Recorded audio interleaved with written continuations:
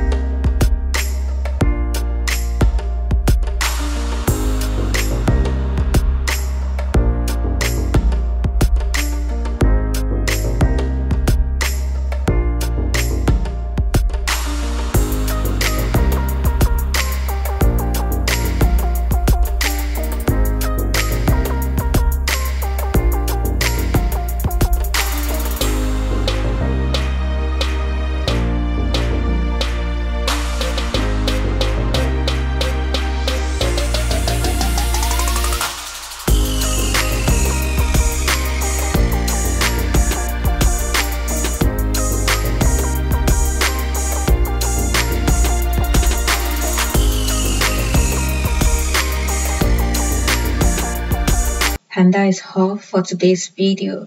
Do not forget to like share subscribe and click the notification bell. See you some other time